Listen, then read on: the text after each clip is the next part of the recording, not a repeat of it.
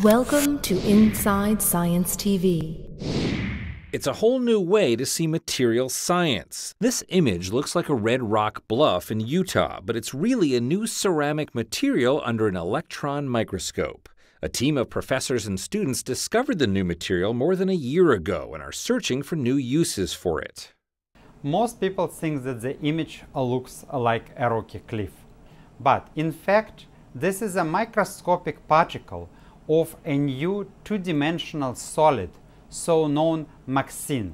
The size of the entire particle is about 30 micrometer, which is a half of the diameter of a human hair. At only five atomic layers thick, ultra thin sheets of these carbon and titanium containing materials are considered only two dimensional. They have dramatically different electrical and mechanical properties from their thicker three dimensional counterparts. Scientists hope they could one day improve solar cells and batteries. The goal of our research to explore structure properties of new two-dimensional materials. One of the applications that we are exploring is use of these uh, MXenes in lithium-ion battery anodes.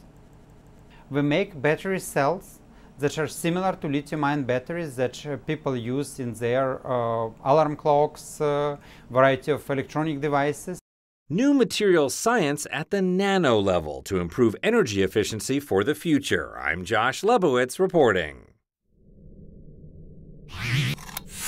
Inside Science TV. If you enjoyed this edition, follow us on Facebook, Twitter, and YouTube. Powered by the American Institute of Physics and a coalition of underwriters.